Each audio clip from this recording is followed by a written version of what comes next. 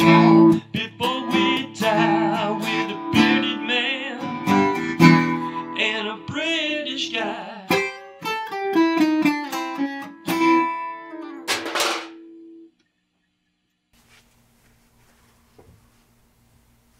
right, forget it. I don't think he's going to be here. We're going to roll ahead without Malcolm. Let's Try Before We Die, everybody. The whiskey review show where we randomly pull bottles and open them no matter what we get, whether it's still in a store today or was only available 20 years ago. Um, so I'll say we a few times. Try before we die.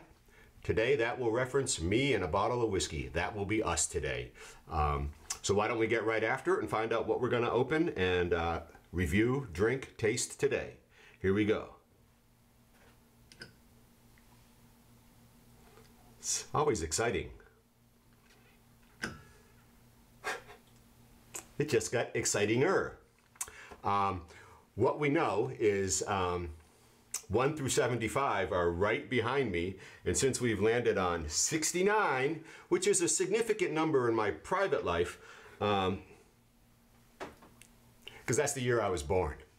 Um, we're gonna we're gonna count down. We know we have 15 across the top, so excuse me while I turn around. 15, 30, 45, 60. Consistent with 69, I'm gonna have to bend down and get this bottle. 15, 30, 45, 60, 64, 65, 66, 67, 68, 69, 5 across, 1, 2, 3, 4, 5. We have a 12-year-old Glen Moray. This, I believe, is a Speyside. We have a Speyside single malt whiskey. Let me grab my seat.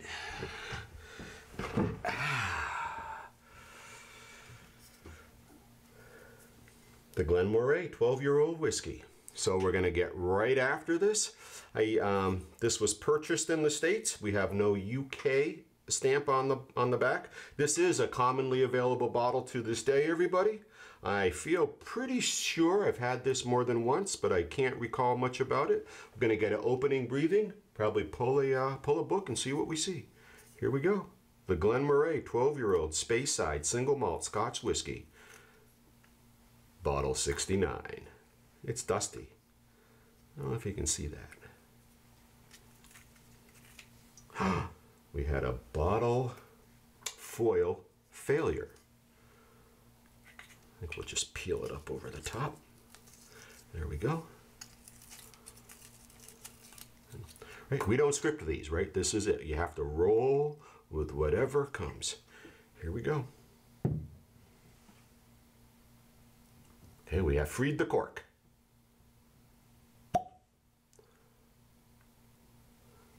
That was nice. It had an element of potency to it. But let's all channel Malcolm. Lively. Glen Moray, established 1897.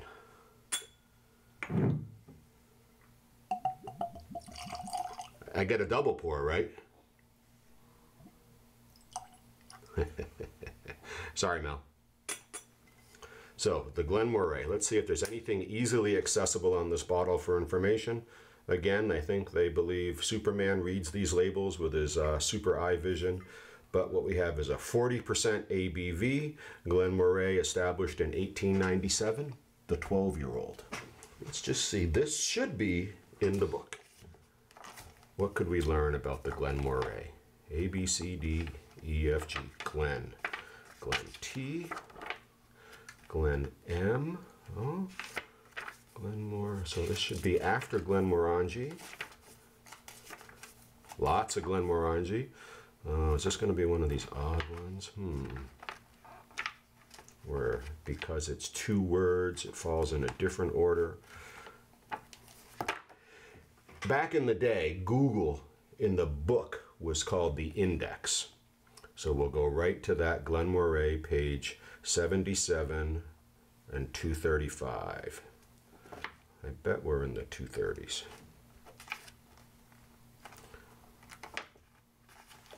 Oh yeah, these are the double G's. Glen Grant, Glen Moray. What do we know? Hmm. Grapey notes. But let's go right to the 12 year old. It's here. Here it is. 12 year old. Soft. Pears, walnuts, fresh oak, smooth and oily, beeswax, and honeyed. So they're saying it's a softer yellow color.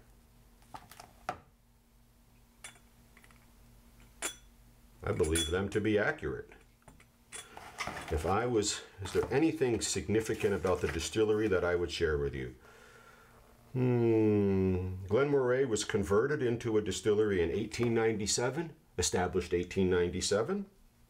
Before then, it was a brewery. When they distill and they make whiskey, all whiskeys actually begin as a beer in the process of their initial fermentation, and they make a wort and then it comes off. So that makes sense that it was originally a brewery.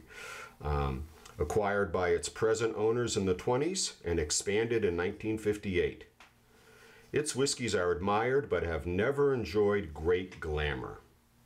Interesting. And they have the Elgin Classics range. And if I recall correctly from a WTF episode, there was discussion of some of the Glen Morays um, being pursued as an afternoon drink with salads and whatnot, trying to launch into the, and forgive me, it's 2022, but in the reality was trying to watch into, launch into uh, attracting women um, to have whiskeys with their salads at lunch.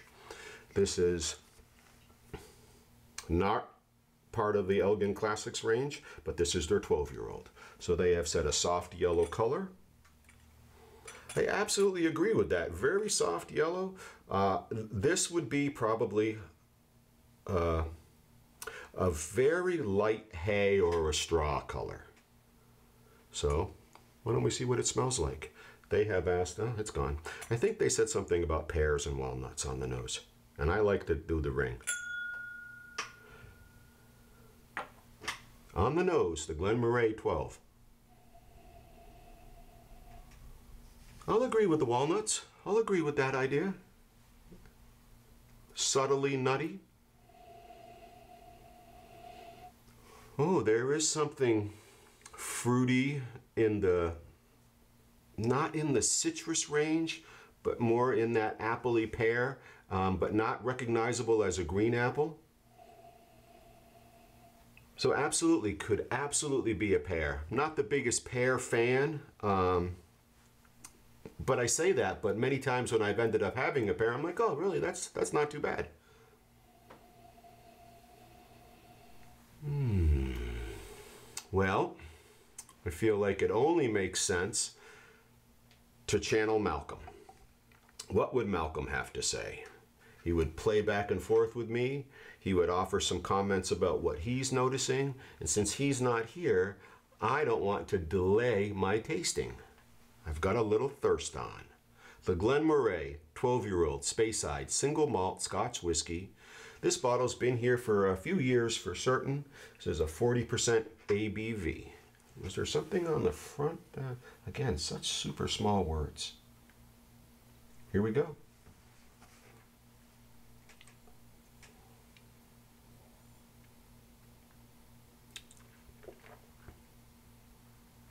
Oh. Oh my gosh. That nuttiness really developed. It is almost as if you're drinking extract of walnut. Um, you know, in the very subtle end of the scale, but unmistakably so. That's very interesting.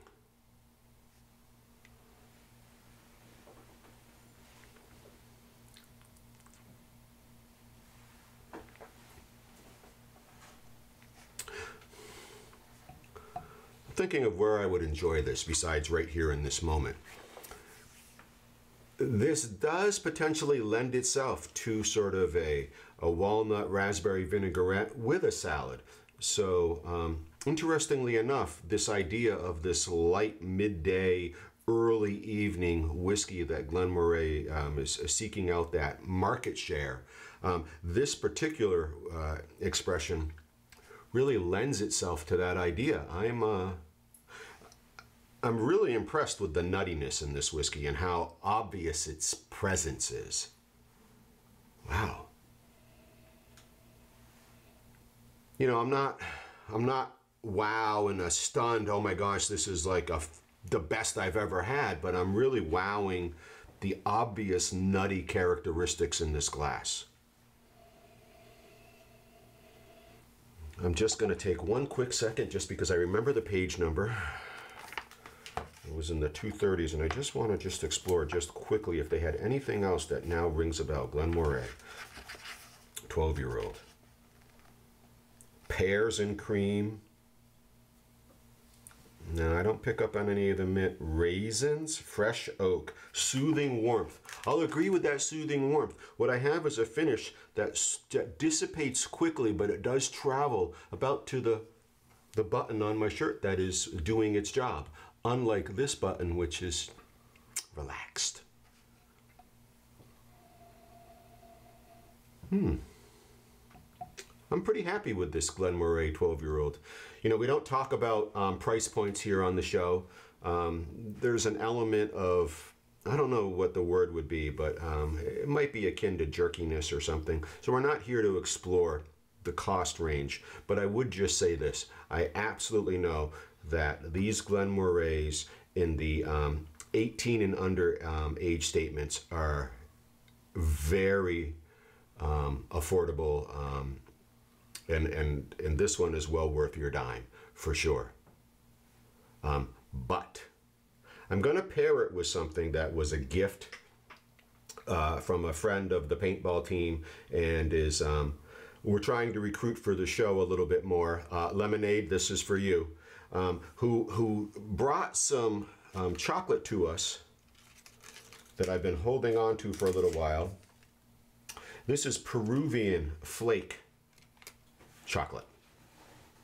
So I'm going to have a little uh, bite of some Peruvian chocolate and pair it with this um, nutty whiskey with um, some hints of pear. Mmm, it's a hard chocolate. Oh, it's a flake.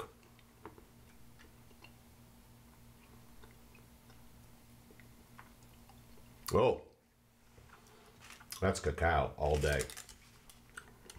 40% cacao. All right.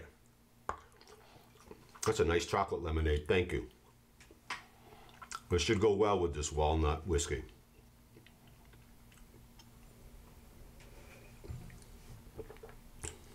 Oh, yeah. Oh, yeah. Midday. I'm on holiday. It's the weekend. Another for me and my friends. I would order this again. Mmm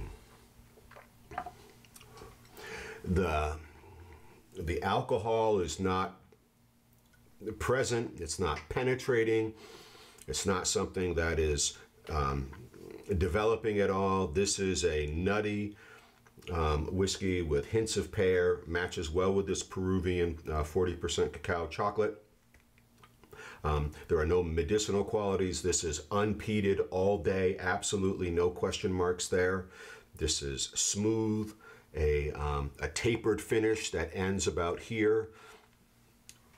As I sit, having had my sip, uh, uh, you know, 40 seconds ago, there are no remnants left at all uh, in my mouth. This is easy drinking, very smooth, yet with recognizable nutty characteristics. Um, it's a nice whiskey, and I know the price point, and it's an excellent whiskey for its price point. I don't think you'd go wrong having that around. And this would be a great whiskey to share with somebody who's afraid of scotch and they've never tried it. They're just afraid of it.